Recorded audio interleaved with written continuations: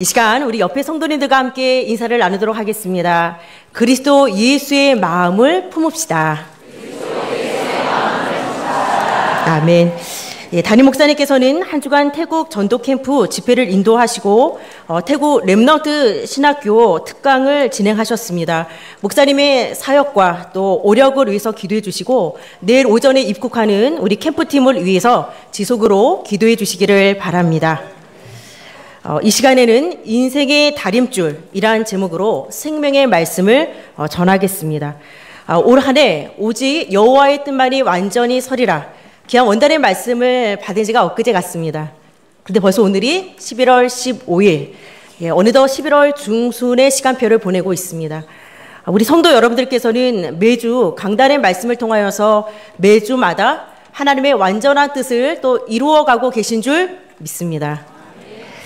어, 계속해서 주일 강단을 통해서 희락의 서신, 어, 또 기쁨의 서신인 빌립보서 말씀을 받고 있습니다. 성도 여러분들 기쁘십니까? 네. 제가 뭐 잘못한 거 없죠?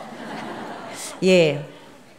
어, 사도 바울은 감옥에 매여 있었음에도 불구하고 오히려 감옥 밖에는 바깥에 있는 사람들을 향하여서 기뻐하고 기뻐하는 삶을 이야기하고 있습니다. 아, 여러분들이 복음 안에 주어진 참 기쁨, 참 감사, 참 자유와 해방을 이 시간에 누리시기를 바랍니다. 어, 아프리카 어느 부족에서는 뭐이 부족민이 아프면 그 부족의 치료사가 찾아와서 뭐라고 물으면 어디가 아프십니까? 라고 묻지 않고 어, 네 가지를 묻는다고 합니다. 그 첫 번째 질문이 뭐면 당신이 마지막으로 노래한 것이 언제입니까? 그리고 두 번째로 당신이 마지막으로 춤춘 것이 언제입니까? 세 번째, 마지막으로 당신이 자신의 이야기를 한 것이 언제입니까? 그리고 네 번째 질문. 마지막으로 당신이 고요히 앉아 있었던 적은 언제입니까? 참 지혜로운 어, 이 치료사가 아닌가라는 생각을 하게 되어집니다. 이 네 가지를 한 지 오래된 사람이 당연히 아픈 것이고 어, 그렇다면 처방은 나오겠죠. 이 네 가지를 하는 것이 처방전이 되어지는 것입니다. 저는 예화를 보면서 어, 계속해서 나오는 우리 이 빌립보서 기쁨의 서신 강단 말씀을 묵상하는 가운데 영적인 것도 참 너무 비슷하다라는 생각을 했습니다. 단순히 우리는 어, 노래하는 것으로 찬양하는 것이 아니라 어, 소고치며 춤추며 주님을 하나님을 찬양하라고 말씀하셨습니다. 자신의 이야기를 한 것이 언제인가? 우리가 받은 강단 말씀의 은혜를 함께 나누고 또 기도 제목을 나누는 이런 포럼 굉장히 우리 영적인 건강에 굉장히 중요하죠. 그리고 내가 마지막으로 고요히 앉아 있었던 적이 언제냐? 말씀 묵상과 기도를 통한 집중의 시간이 아닌가라는 재해석을 하게 되었습니다. 어, 여러분들께서 오늘 어, 나의 영적인 건강 그리고 정말 나, 내 안에 상황과 상관없이 어떠한 매여 있는 상황에 있다 하더라도 복음은 매이지 않은 참 자유임을 깨닫고 여러분들의 기쁨의 수치를 한번 점검해 보시기를 바랍니다. 오늘 본문인 이 아모스서는 모든 선지서 가운데 사실은 가장 오래된 책으로 구약의 고전이라고 불려지고 있습니다. 아모스서는 굳이 우리가 전화번호로 표현을 한다면은 어, 구국에 8, 8355번 무슨 의미냐? 아모스서는 총 9장으로 되어 있습니다. 그래서 일단 9국이고요. 그럼 8355번은 뭐냐? 바로 이 아모스라는 선지자가 주변의 8개 국가에 대한 이 심판의 메시지를 어, 증거했기 때문입니다. 그뿐만 아니라 이 3이라는 숫자는 아모스가 하나님께 받은 바로 세 편의 어, 설교를 어, 북왕국에 증거했기 때문이고 5라는 것은 아모스에게 하나님 보여주셨던 다섯 가지 환상을 의미하고 있습니다. 마지막으로 그 5라는 숫자는 바로 다섯 가지 한상 이후에 멸망 이후에 하나님이 주시는 다섯 가지 회복의 축복의 어, 다섯 가지 회복의 약속이 바로 이 5에 해당이 되었습니다. 이 아모스라는 이름은 짐진자라는 뜻입니다. 그는 이사야와 여러분 알, 알다시피 호세와 같은 동시대를 살았던 선지자였고 하나님의 말씀을 대언하는 그런 선지자의 사명을 감당했습니다. 우리가 흔히 예레미야를 눈물의 선지자다라고 이야기를 합니다. 호세아 선지자를 말할 때는 사랑의 선지자로 이야기를 하고 있습니다. 그렇다면 이 아모스 선지자를 말할 때는 우리가 의의 선지자라고 이야기하고 있습니다. 오직 공법을 물같이 정의를 하수같이 라는 말씀을 선포했던 것처럼 그의 예언의 핵심은 바로 공의의 하나님에 대해서 말씀을 증거했기 때문입니다. 아모스라는 인물은 시골에서 뽕나무를 기르고 또 양을 치던 평범한 농사꾼이었습니다. 그는 예언자의 후예도 아니었고 또 선지 학교의 출신도 아니었습니다. 평범하게 자연 속에서 누에를 치고 또 양을 키우면서 하나님의 음성을 기다리던 경건한 사람이었습니다. 그러던 그에게 하나님께서 선지자 사역을 시작할 수 있도록 이 소명을 체험케 하시고 바로 다섯 가지 환상을 보여주신 것입니다. 이 환상들이 어, 그를 선지자로 또 예언자로 설 수 있도록 결정적인 어, 만남이 되었고 그것이 훗날 사명으로 연결이 되어진 것입니다. 다섯 개의 환상을 잠시 살펴보면 첫 번째 환상은 7장 1절에서 3절에 나오는 황충입니다. 황충이 모든 풀을 베어먹는 환상으로 이스라엘이 침략을 당할 것을 의미하고 있습니다. 두 번째 환상은 7장 4절에서 6절에 나오는 불이 모든 물을 사르는 현장입니다. 바로 폐허가 될 이스라엘을 의미하고 세 번째는 어, 오늘 본문에 해당되어지는 바로 다림줄 환상입니다. 하나님께서 다림줄을 들이오고 있는 모습을 통하여서 이스라엘을 장차 멸망할 계획을 갖고 계심을 보여주시는 것입니다. 네 번째는 8장 1, 2절에 바로 썩은 여름 실과가 가득한 광주리를 보여주시면서 그만큼 죄악이 극심한 이스라엘을 바로 썩은 과일로 비유하고 있습니다. 마지막으로 9장으로 넘어가면 성전이 무너지는 환상으로 이 부서진 문설주는 바로 신앙의 붕괴를 의미하고 있습니다. 결국 이 다섯 개의 환상은 이스라엘을 심판하겠다라는 하나님의 뜻을 전하고 있습니다. 이 환상을 본 아모스는 더 이상 잠잠할 수가 없었습니다. 그래서 목자에 불과했지만 그리고 남 왕국 사람이었음에도 불구하고 북 왕국으로 와서 바로 하나님의 심판의 메시지를 담대히 전하게 되었습니다. 따라서 이 아모스라는 이 본문 자체는 하나님의 심판 이야기를 다루고 있기 때문에 굉장히 강한 메시지고 또 강한 심판의 메시지가 담겨져 있습니다. 굉장히 무거울 수도 있습니다. 그만큼 아모스가 사역했던 이 시대상 자체가 그만큼 무거웠고 타락했던 것을 알 수 있습니다. 어, 당시 정치와 국방 모든 면에서 굉장히 번영을 이루었습니다. 그렇지만 번영을 이룬 만큼 성적인 타락의 극치를 이루었고 어, 탐관 오리들이 극실됐습니다. 그리고 사람을 노예처럼 사고 파는데 신발 한 짝 가격밖에 되지 않았습니다. 신발을 한 짝 주고 사람과 맞바꿀 정도로 사람의 값어치가 어, 완벽하게 떨어져 버렸습니다. 상거래가 온통 속임수였고 재판이 공정하지 못했고 또 하나님 앞에 드려지는 종교적인 의식은 굉장히 성대하게 진행이 되었지만 어, 정작 그 예배는 굉장히 형식적이고 가증적인 예배였습니다. 따라서 하나님께서 이스라엘의 이 심판을 어, 아모스를 통해서 환상을 보여주시면서 예언하도록 그 환상을 보여주신 것입니다. 그렇다면 오늘 제목이 인생의 다림줄입니다. 다림줄이 무엇이냐? 어, 이 다림줄이란 표현은 아모스와 스가랴서에만 나오는 어, 표현입니다. 건축 기술자들이 사용하는 도구로 줄과 추로 되어 있습니다. 어, 벽이나 다른 건축물들의 수직과 수평이 맞는지 그것을 측량할 때 사용하는 도구입니다. 예, 잠시 좀 사진을 보도록 하겠습니다. 아, 여러분들이 이거 보시고 아 이거 예. 예, 우리가 건물을 세울 때 뿐만 아니라 건물을 허물 때도 사용이 되어집니다. 성경 곳곳에서는 이 다림줄을 삼줄이다, 또 측량하는 장대다, 측량줄이다, 어, 굉장히 다양한 표현을 하고 있습니다. 이 다림줄을 띄우고 그 줄을 따라서 벽돌을 똑바로 쌓아가는 것입니다. 다림줄이 없어도 물론 벽돌을 쌓을 수 있습니다. 그러나 다림줄이 없는 상태에서 벽돌을 쌓게 되어지면 삐뚤삐뚤 쌓아질 수밖에 없고 결국은 기울어진 이 건물은 무너져 버릴 수밖에 없습니다. 따라서 우리 건축에 있어서 이 다림줄이라는 것은 우리가 집을 튼튼하고 또 아름답게 짓는 또 중요한 도구입니다.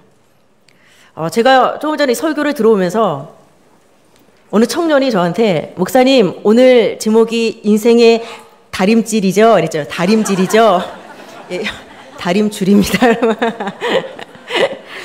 예, 오늘 여러분들께서 이 아모스 말씀이 굉장히 무겁고 심판의 메시지긴 하지만 굉장히 큰 저는 이 말씀을 준비하면서 굉장히 큰 은혜를 받았습니다.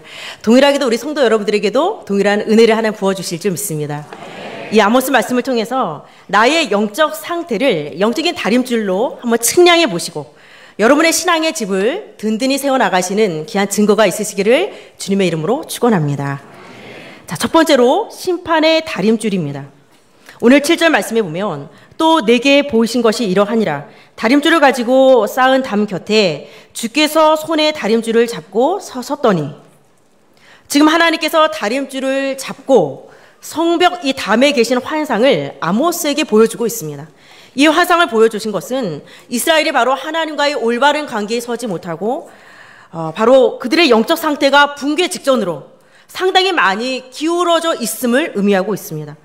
결국 이스라엘의 왕국이 헐리게 되는 엄청난 재앙이 임할 것을 어, 말씀해 주고 있는 것입니다.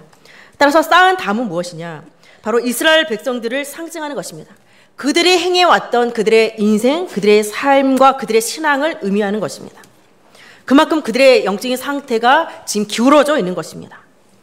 8절 말씀에도 보면 여호와께서 내게 이르시되 아모스야 내가 무엇을 보느냐 내가 대답하되 다림줄이니이다 주께서 이르시되 내가 다림줄을 내 백성 이스라엘 가운데 두고 다시는 용서하지 아니하리니 이 8절 말씀에 내가 다림줄을 내 백성 이스라엘 가운데 둔다고 했습니다. 이 말씀은 하나님께서 손에 이 다림줄을 잡으시고 이스라엘 백성들을 측량하고 계심을 의미하고 있습니다.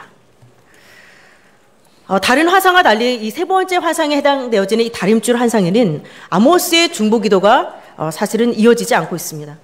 또한 하나님 역시 뜻을 돌이키겠다는 어떤 암시적인 어, 말씀도 전혀 나타나지 않고 있습니다.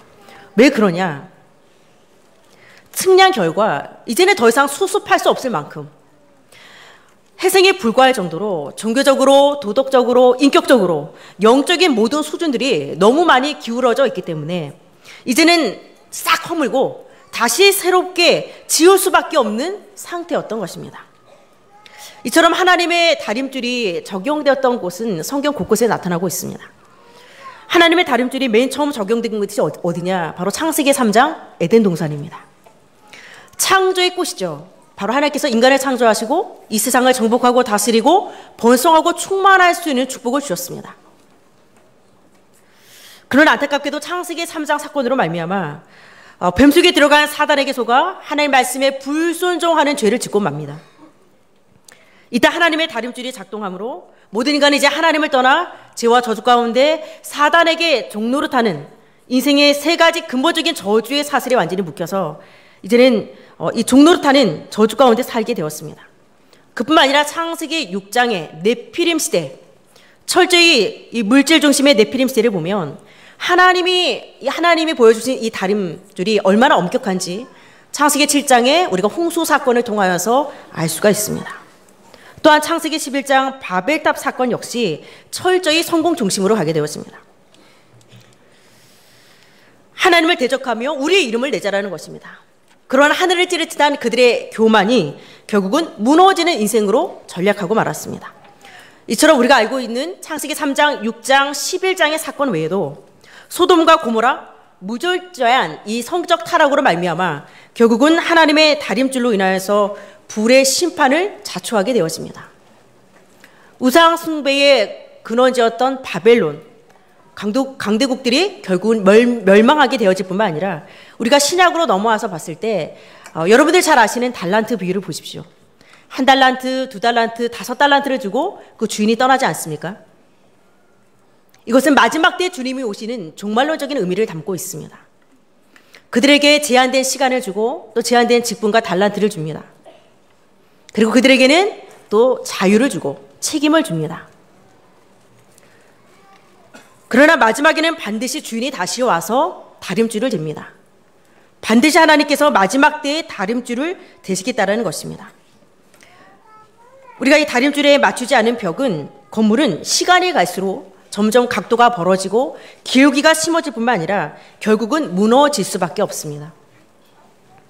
이 원리는 건물뿐만 아니라 우리가 인생을 살아가는 데 있어서 그리고 한 나라의 흥망성쇠뿐만 아니라 교회가 그렇고 국가가 그렇고 모든 역사에 동일하게 어, 적용이 되어지는 것입니다.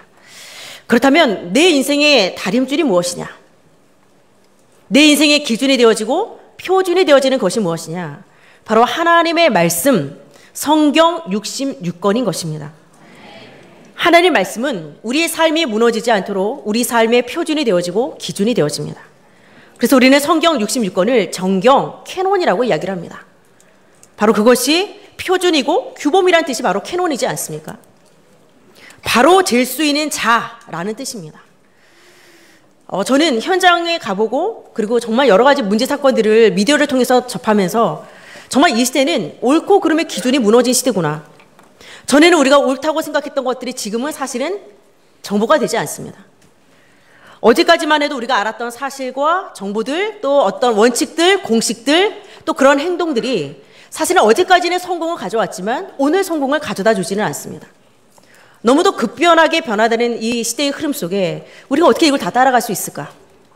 그러나 우리는 영원히 변치 않은 참 진리 대신 하나님의 말씀을 여러분 붙잡으시길 바랍니다. 어제나 오늘이나 동일하신 하나님의 말씀이 여러분의 기준이 되어지고 여러분의 인생의 다림줄이 되심을 믿으시기를 바랍니다. 이스라엘을 다림줄로 재보시는 하나님께서 오늘날도 마찬가지입니다. 하나님의 말씀이 성경을 가지고 우리의 영적 상태와 우리의 삶을 돌아보시고 또 우리의 생각을 재어보실 뿐만 아니라 우리의 신앙의 넓이와 높이와 길이를 재어보실 줄 믿습니다. 디모데 후서 3장 16절 17절에 보면 모든 성경은 하나님의 감동으로 된 것으로 교훈과 책망과 바르게 함과 의로 교육하기에 유익하니 이는 하나님의 사람으로 온전하게 하며 모든 선한 일을 행할 능력을 갖추게 하려 함이라. 우리 인생의 다림줄이 되는 하나님의 말씀을 따라갈 때 바로 그 말씀이 우리에게 유익이 되어지고 우리를 온전케 하고 또 선한 일을 행할 능력까지 더하여 주신다고 말씀하셨습니다. 따라서 우리가 매주 매주 선포되어지는 52주 강단 말씀. 이것이 여러분들의 삶의 척도인 줄 믿습니다. 기울고 굽은 것이 있으면 우리가 시정하고 바로 잡아 나가는 것입니다. 그러나 안타깝게도 우리는 말씀의 다림줄을 따라가는 것이 아니라 이 시대 자체가 말씀의 다림줄을 무시합니다. 철저히 창세기 3장, 6장, 11장이라는 어, 내 뜻, 내 생각, 내 주장, 내 경험의 잣대를 가지고 어, 우리의 인생을 만들어 나갑니다. 그래서 사사기 말씀에 보면 어, 그때 이스라엘 왕이 없으므로 사람이 각기 자기의 소견대로 옳은 대로 행하였다라고 말씀하고 있습니다. 사실 우리의 경험도 중요하고 우리의 판단도 필요합니다. 그러나 인간의 눈이나 인간의 판단은 어, 반드시 어, 옳지 않습니다. 우리가 오히려 거기에 속아 넘어갈 때가 많이 있습니다. 우리가 조종사들에게 비행 착각이라는 말이 있습니다. 조종사들에게 비행 착각이다. 이것이 무엇이냐? 악천후나 야간 비행을 하거나 해전 비행을 하거나 오랜 시간 이 비행을 하다 보면 감각에 이상이 생기는 거죠. 그러니까 감각이 둔해지는 겁니다. 그래서 나는 계속 올라가고 있다고 생각하는데 사실은 그 비행은 계속 밑으로 떨어지고 있는 겁니다. 그래서 여러 가지 이러한 항공기의 추락이 이런 비행 착각에서 일어나고 있다는 이야기를 들었습니다. 따라 기본 수칙은 뭐냐? 이제는 묻어지는 내 감각을 믿는 것이 아니라 계기판을 바라보는 것입니다. 우리가 깊은 산속이나 사막에서 나침반을 신뢰하고 나가야지 사실은 우리의 육감을 믿어서는 안 되는 것입니다. 사람들을 자기 스스로 만든 기준을 갖고 나름대로 우리 인생의 벽을 쌓고 신앙의 집을 세워 나가기도 하고 우리의 사업을 세워 나가고 우리의 직장을 세워 나가기도 합니다. 따라서 사탄은 12가지 이 전략을 가지고 모든 것의 기준이 하나님의 말씀이 아닌 바로 나로부터 출발할 수 있도록 내가 기준이 되어질 수 있도록 끊임없이 우리를 속이고 있다는 것입니다. 이 시대의 한국교회뿐만 아니라 세계교회의 다수가 교회마저 옛것을 기준으로 삼아서 속고 있습니다. 하나님 말씀에 적절하지 않으면 지금은 사실은 괜찮을 수 있습니다. 지금은 당장 무너지지 않을 수 있지만 시간이 가면 갈수록 언젠가는 무너질 수밖에 없는 인생이 되는 것입니다. 그래서 우리가 보통 산사태나 홍수를 보더라도 어, 사실 제대로 쌓지 않은 축대가 문제가 되어지고 사전에 알면서도 대비하지 않은 것들이 원인이 되어질 수밖에 없습니다. 저는 1995년 여러분 6월 29일 오후 5시 27분 삼풍 백화점 무너진 날이거든요. 저는 그 당시 제가 직장에 다니고 있었습니다. 그래서 6시 퇴근 시간을 앞두고 기쁜 마음으로 막 퇴근 시간을 기다리고 있었는데 갑자기 삼풍백화점이 무너졌다는 것입니다. 근데 제가 저희 집이 서초동 삼풍백화점 쪽이었거든요. 너무 놀랬죠. 뭐 구멍가게 하나 무너진 게 아니라 백화점이 무너졌다고 하니까. 제가 그 라디오를 듣고 너무 놀래가지고 저희 동네로 이제 왔거든요. 교대역에 왔는데 진짜 교대역이 아수라장이 되어 있었어요. 진짜 이 피가 줄줄줄 왜냐 그 파편이 너무 많이 튀어가지고 그때 그 삼풍백화점 주변 그 안에 있던 사람들만 다치고 죽은 것이 아니라 그 인근 주변까지 파편이 다 튀었었거든요.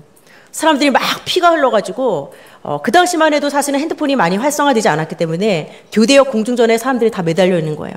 막 엉엉 울면서 엄마한테 전화하는 친구들도 있고 제가 밖을 나가 보니까 이 아주 낮게 하늘 위에 헬기들이 다 떠다니는 거예요. 그러니까 동네가 완전히 아수라장이 됐습니다. 그 이외에도 여러분 거의 부상만 900명이고 500명 이상이 죽었거든요. 그 실종도 6명 있었고 그러다 보니까 이 시체 썩는 냄새 때문에 수없이도 방역들을 많이 했었습니다. 그래서 저는 기초가 든든하지 않은 정말 모래에 지은 인생 어, 이런 부실공사하면 저는 제가 봤고 제가 확인했던 현장이 삼풍백화점이었기 때문에 사실 지금은 아크로비스타 주상복합 세워져 가지고 지금은 웬만한 돈 갖고는 들어올 수 없는 진짜 그런 일이 있었나 싶을 정도로 이런 부실 공사들 분명히 무너질 수밖에 없습니다. 우리가 구절 말씀에 보면 이삭의 산당들이 황폐화되고 이스라엘의 성소들이 파괴될 것이고 내가 일어나 칼로 여로보의 짐을 집을 치리라 하시니라. 여섯 칼은 전쟁을 의미하고 있습니다. 결국 이 예언대로 그대로 되었고 왜 하나님은 긍휼의 하나님, 자비의 하나님이시기도 하지만 바로 말씀을 그대로 이루시는 공의의 하나님이시기 때문입니다. 한 예로 바벨로 왕이었던 벨사살 난공불락의 성에서 성전에서 사용하는 그릇을 갖고 술을 마시고 또 그의 교만이 하늘을 찔렀습니다. 이때 왕 앞에 손가락이 나타나 벽에 글씨가 쓰여집니다. 그 글씨가 바로 메네메네 덱의 우바르신 이 글자를 다니엘이 해석하게 되었습니다. 너를 하나님의 저울에 달아보니 모자란 인물로 이제 내 시한은 다 끝났다. 내가 수고해 세운 나라는 메대와 바사에게 준다. 그런 뜻이 있었습니다. 결국 그날 밤 하나님을 대적하던 왕은 죽임을 당하게 되어집니다. 어찌 보면 좀 무서운 또 무거운 심판의 말씀을 전하고 있습니다. 그렇다면 지금 여러분들은 어디에 기울어져 있습니까? 그리고 무엇의 영향을 받고 있습니까? 영적인 다림줄인 하나님의 말씀이 여러분 생활에 또 여러, 여러분 삶에 여러분 신앙의 척도가 되어지시기를 바랍니다. 그래서 삐뚤어진 것은 조금 더 넣고 바르게 세우고 튀어나온 거는 넣고 또 안으로 들어간 것은 밖으로 뽑아내지 않겠습니까? 가감히 내가 끊어버려야 될 것은 또 말씀 앞에 결단하고 끊을 수 있는 그런 믿음의 결단이 필요한 것입니다.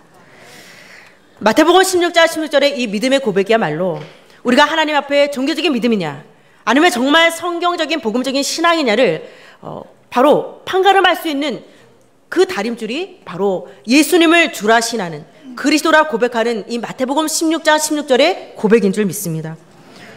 우리가 아무리 많은 노력을 하고 열정을 쏟아 붓는다 하더라도 우리의 기준이 예수 그리스도께 맞춰 있지 않다면 우리의 인생은 무너지는 바벨탑 인생이 되어질 수밖에 없습니다.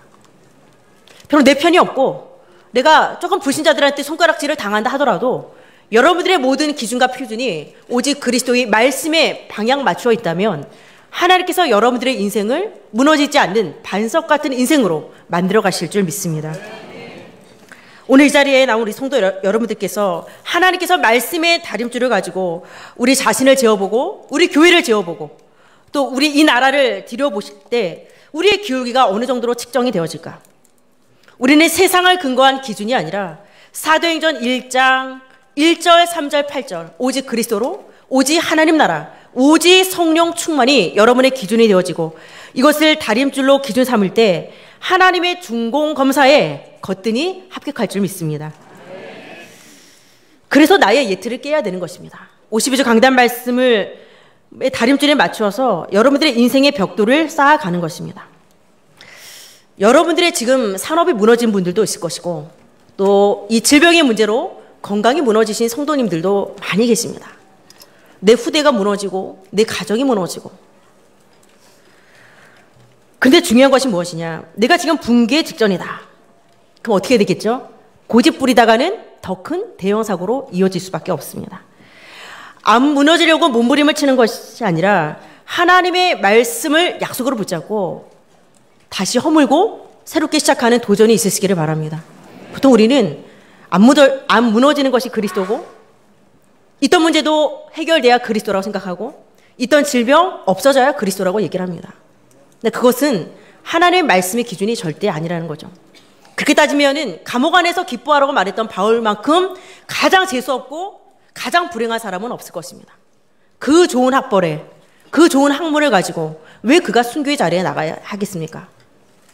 저는 어, 제가 새가족국을 한 5년 정도 맡았었습니다. 그때 담임 목사님께서 하셨던 말씀이 문득 생각이 납니다. 그때 새가족 10주 과정이 있었는데 그때 새가족이 10주 과정 때 일어나서 이렇게 간증을 하셨습니다. 그분께서 뭐라고 얘기했었으면 내일이면 본인이 운영하고 있는 카페가 이제 문을 닫는다는 겁니다. 그래서 우, 시면서 어, 그렇게 되면 이제 길바닥에 나앉게 되는데 좀 기도해 주세요 하면서 우셨어요. 그래서 아마 저 같았으면은 아, 예 같이 기도하겠습니다. 얼마나 속상할까요? 이렇게 저는 위로의 말을 했을 것 같은데 담임 목사님께서 뭐라고 얘기했으면 아, 내일 길바닥에 나오게 되면 길바닥에 나 앉는 것이 응답입니다. 딱 그러시더라고요. 어머 새 가족한테 너무 세게 얘기하시는 거 아니고 시험 드시는 거 아니야? 그런 생각했는데요. 뭐라고 목사님께서 말씀하셨으면 복음 밖에서 쌓았던 것은 이제 다 무너뜨리고 이제는 예수 만났으니까 복음 안에서 다시 쌓고 다시 시작하라는 것입니다. 아, 근데 이 세 가족이 시험을 드는 게 아니라 오히려 얼굴이 환해지면서 굉장히 큰 힘을 얻었습니다. 자, 우리가 안 무너지는 것이 응답이 아니라 여러분 때로는 무너지는 것도 응답입니다.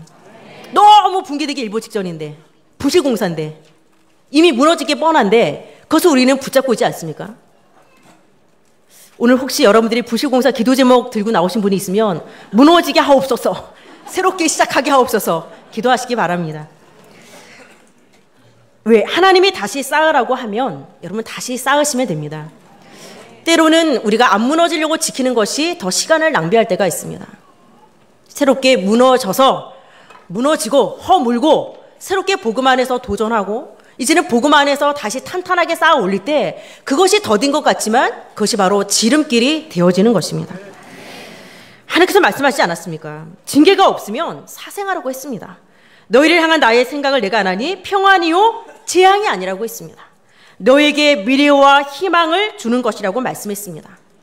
우리의 생각과 하나님의 생각은 다릅니다.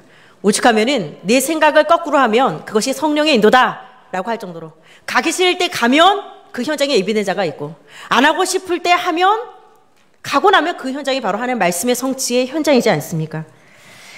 여러분께서 하나님의 생각이 나와 완전히 다름을 신뢰하고 나아가서 합력하여 선을 이루시는 하나님의 권능을 바라보면서 여러분 새롭게 도전해 나가시기를 주님의 이름으로 축원합니다. 두 번째로 회복의 다림줄입니다.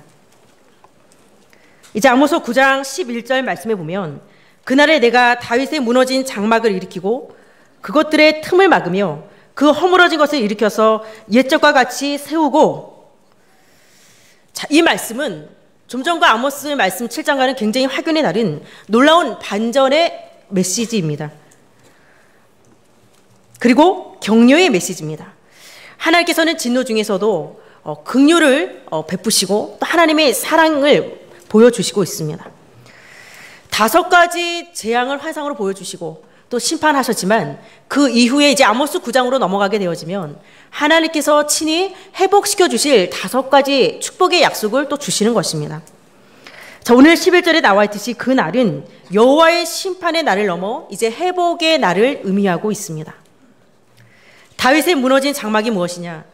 그동안 잘못된 예배, 실패했던 예배, 죄악, 하나님 앞에서의 불순종, 또 바벨론의 포로가 되었던 것들, 또 우상 숭배했던 것들, 그것이 바로 다윗의 무너진 장막으로 비유를 하고 있습니다. 근데 반대로 다윗의 무너진 장막을 어떻게 할 것이다? 회복시켜 주실 것이다. 라고 말씀하고 있습니다. 바로 이스라엘 왕국뿐만 아니라 모든 이스라엘 백성들의 그리고 모든 인생들의 삶을 회복시켜 주시겠다라는 회복의 말씀입니다.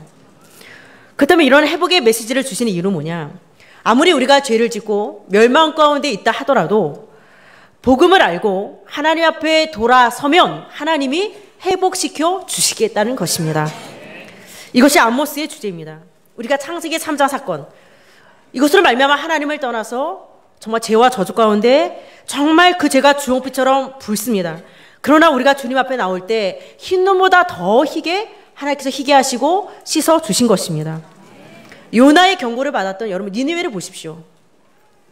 금식을 선포하고 굵은 베옷을 입고 정말 그들이 회개 운동이 일어났을 때 하나님께서 뜻을 돌이켜서 그들을 구원했던 것을 볼 수 있습니다. 용서해 주셨습니다. 이처럼 유일하게 성경에 보면 하나님의 뜻을 돌이키는 길이 바로 회개인 것입니다. 어, 저희들이 이제 현장에 가게 되어지면 굉장히 다양한 부류의 사람들을 만나게 되어집니다. 어, 영접을 당하시는 분도 있고요. 영접을 어, 해 주시는 분도 있고, 그리고 정말 영접을 하시는 분이 있습니다. 그래서 우리가 막 일단 한 건 올려야 되고 목사니까 같이 간 사역자들에게 그래도 한 건 올리는 거 보여줘야 되니까 막 영접을 막 강요할 때도 있고 막 설득할 때도 있지 않습니까? 그런데 여러분 복음은 어떤 설득이나 강요가 아니라 선포입니다. 철저히 예수님을 주라 시인하기 전에 내가 하나님을 떠난 철저히 죄인이었음을 고백하는 것이 중요합니다. 그래서 실제로 진짜 영접하는 분들을 보게 되어집니다. 어, 저 이런 분도 봤습니다. 영접 기도가 딱 끝났는데 이분이 할렐루야 하면서 박수를 막 치시더라고요. 어, 굉장히 깜짝 놀랐습니다. 그만큼 이제 영접하고 너무 기쁘신 거죠. 우리만큼 더 기뻐하시더라고요. 그리고 또 어떤 분들은 복음을 전하기 시작하면서 졸기 시작하세요. 듣지 못하시는 거죠. 혼미하신 거죠. 야, 그 몇 번 탁탁 치고 이렇게 해도 또 복음을 선포하면 또 졸기 시작합니다. 너무 감사하게 자 이제 영접 기도 하겠습니다 하면 눈을 번쩍 뜨면서 그때 영접 기도를 따라 하시는 분이 계세요. 분명히 그분을 졸았는데 나중에 와서 목사님 말씀 은혜 받았습니다 이러시더라고요. 아니 분명히 제가 그분을 잔것밖에 없는데 또 어떤 분들은요 처음부터 잘 듣다가 영접기도 할 때 되면은 갑자기 전화 울리고 나가고 누구 찾아오고 갑자기 부인하는 분들이 있으시고요. 정말 예수님을 주라 신하고 회개하고 돌아오시는 분들을 보면 우울증과 공황장애로 내가 너무 힘들었지만 목사님 우리 예원교회 와서 내가 정말로 제대로 한번 웃어봤습니다. 정말 10년 만에 내가 한번 웃어봤습니다. 새가족 신방 2주 전에 갔을 때 그 얘기 하시더라고요. 웃음도 없었는데 정말 예원교회 와서 제대로 한번 웃어봤고 예원교회 와서 제대로 된 눈물 한번 흘려봤다고 다 그 얘기를 하시더라고요. 그래서 하나님이 예비된 영혼들이 있습니다. 하나님께서는 전도라는 미련한 방법을 통하여서 구원 얻을 자를 우리에게 붙여주시는 것입니다. 오늘 아모서 9장 11절에 15절에도 보면 이렇게 회개하고 돌아온 자에게 하나님이 주시는 다섯 가지 축복들이 언급되어 있습니다. 영적으로 우리를 회복시켜 주시고 우리를 열방의 지도자로 세울 뿐만 아니라 풍성한 물질적인 축복을 넘어 파괴된 인생을 회복시키고 메시아 왕국이 도래할 것을 말씀하고 있습니다. 이것이 바로 회복된 다윗의 장막에서 누릴 우리 성도 여러분들의 축복인 줄 믿습니다. 자, 아모서 9장 14절 15절을 보겠습니다.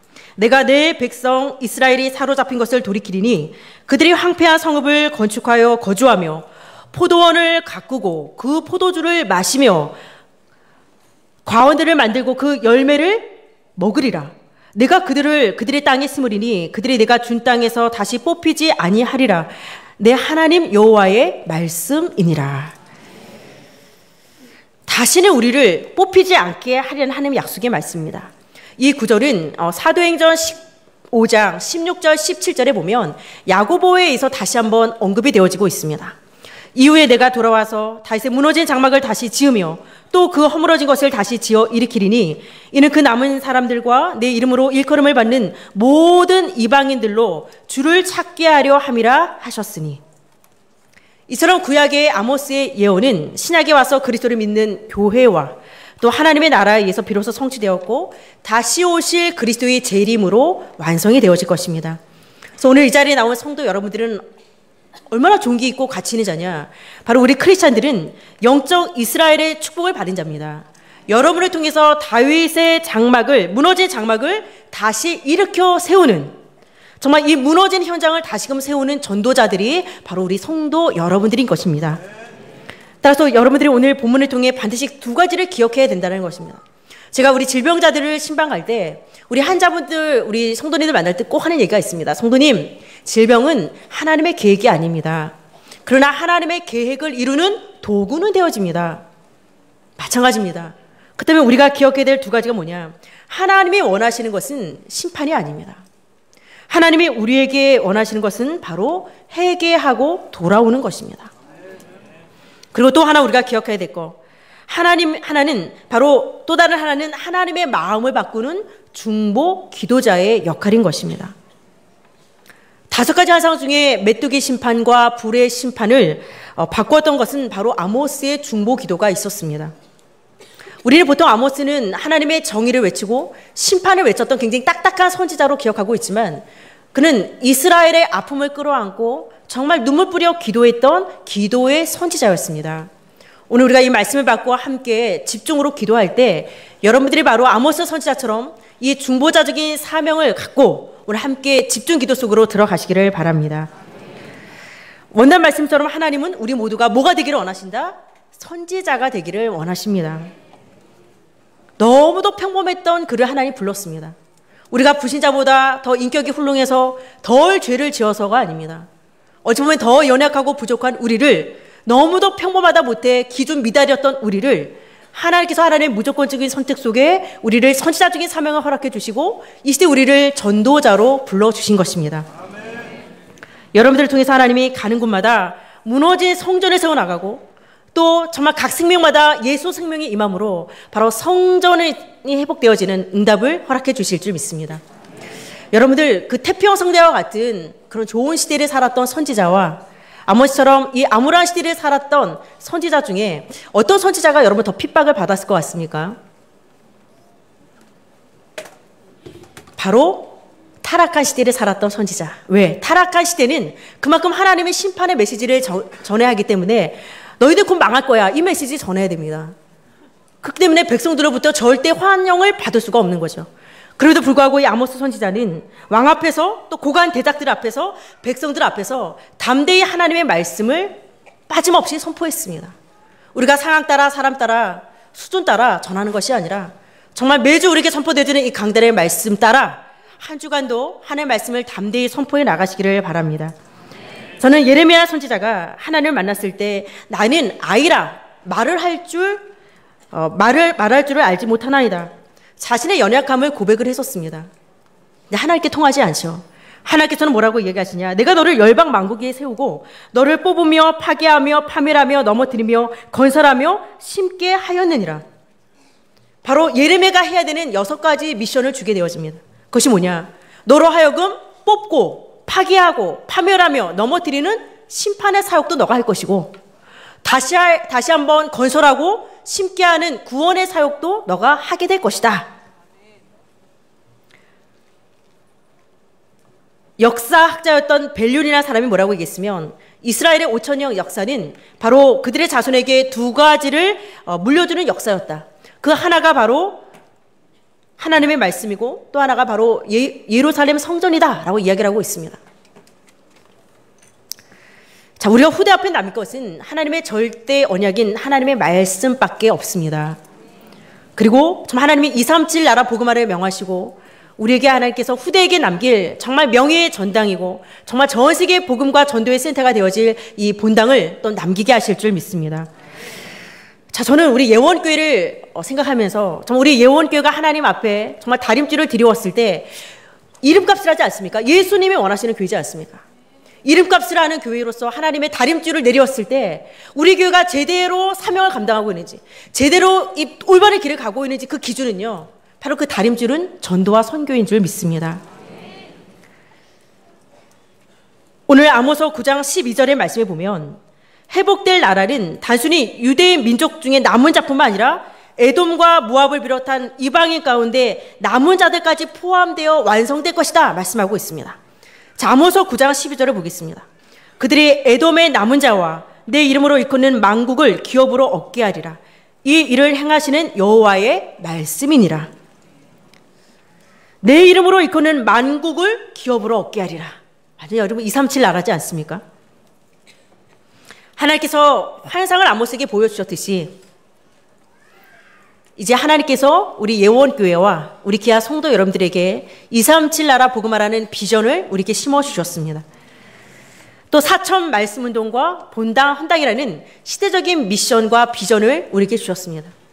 아마 우리가 아니어도 반드시 그 누군가를 통해서 이 세계 복음화의 언약은 반드시 실현이 되어질 것입니다.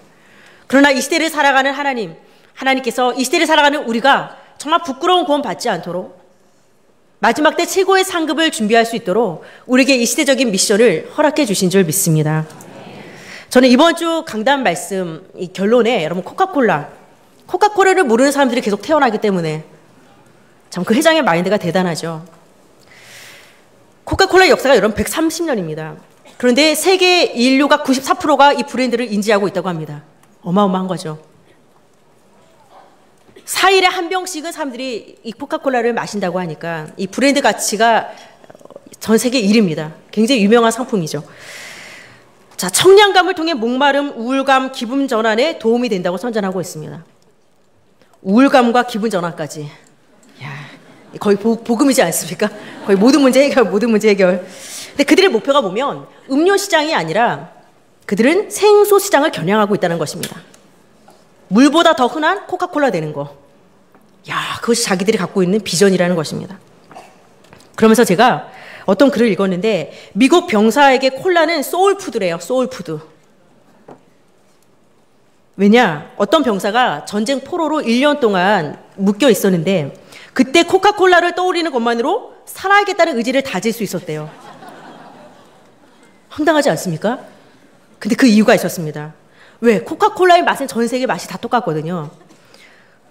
자, 코카콜라는 전쟁과 죽음의 또 포로 위기 속에 있지만 언젠가는 내가 고, 돌아가야 될 고향의 맛이라는 거, 고향의 맛. 나는 언젠가 고향으로 돌아갈 거야. 언젠가 나는 집으로 돌아갈 거야. 이러면서 코카콜라의 맛을 떠올리면서 그 포로의 힘든 1년을 견뎌냈다는 것입니다. 영혼의 식품, 숨은 승리의 이, 주, 이 공신이라고 써 있더라고요. 화나더라고요, 여러분. 예수 그리스도의 이름이 여러분 코카콜라보다 못합니까? 자, 여러분 예수 그리스도 이름만이 최고의 브랜드의 가치인 줄 믿습니다. 예수 그리스도만이 우리의 영적인 정말 소울푸드고 우리의 참 생명수인 줄 믿습니다. 예수님을 알지 못하는 사람들이 계속 태어나는 이 시대를 살아가고 있습니다. 전 세계 많은 선교사를 파송했던 유럽 교회들이 왜 문을 닫냐? 바로 이 복음의 언약의 바톤이 전달되지 않았기 때문에 그렇다면 우리 예원의 본당이 100년, 200년이 지나도 정말 주님 오시는 그날까지 정말 복음을 전할 수 있는 복음의 전 세계 센터로 하나 사용하실 줄 믿습니다. 여러분께서 이번 주 강단 말씀처럼 예수의 마음을 알고 품고 이제는 누릴 뿐만 아니라 예수의 마음을 정말 예수를 알지 못하는 자들에게 전달하시기를 바랍니다.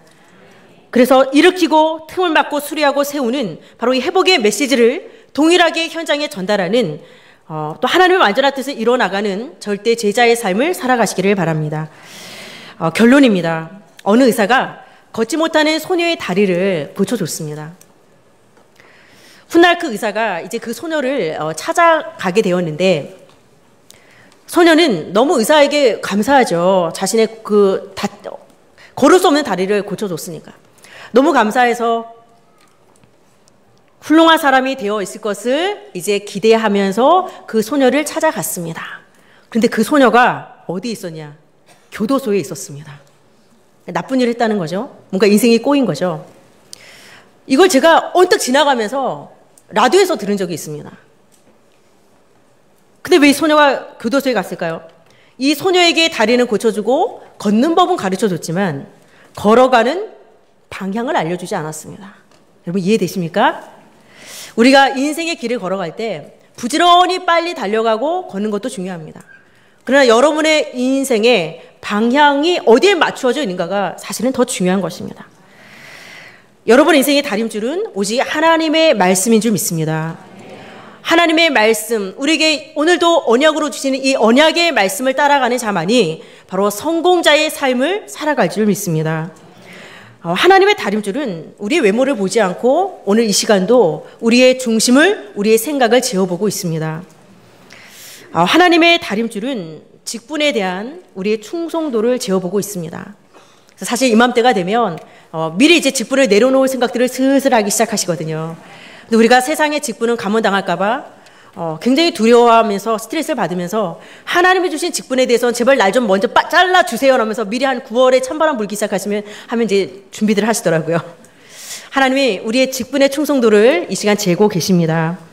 과연 예수의 마음을 품고 우리가 살아가고 있는가? 과연 예수님이라면 어떻게 하셨을까? 예수의 마음으로 생각하고 정말 예수의 마음으로 마음을 품고 날마다 복음 체질로 기경되어 나가시기를 바랍니다. 내일은 이제 237 다문화 축제가 2시에 진행이 되어지고 주일은 추수 감사 주일이면서 또 하반기 전도 운동 우리 새 생명 초청 주일이기도 합니다. 어, 주일에 먹거리 장터가 또 함께 어, 진행 교회 마당에서 진행되기 때문에 여러분들이 전도의 발판으로도 잘 활용하시고 전도 운동에 여러분들이 어, 구격꾼이 아니라 주역이 되시고 또 선동꾼이 되셔서 정말 열매 맺는 이 계절에 여러분들 풍성한 영혼권의 열매를 맺어 나가시기를 바랍니다. 이것이 바로 우리가 나아가야 될 인생의 방향인 것입니다. 그래서 우리 모두 하나님의 다림줄에 가장 합당한 자들이 되어서 마지막 때 잘하였다. 충, 착하고 충성된 종아. 내가 적은 일에 충성하였음에 내가 많은 것을 내게 맡기리니 내 주인의 즐거움에 참여할지니라. 주님 앞에 서는 심판의 날이 반드시 있습니다. 그 날이 우리에게는 바로 최고의 자랑의 날이요, 영광의 날이요, 칭찬받는 날이요. 영광의 면류관을 받는 축복의 날이 되시기를 예수 그리스도 이름으로 축원합니다.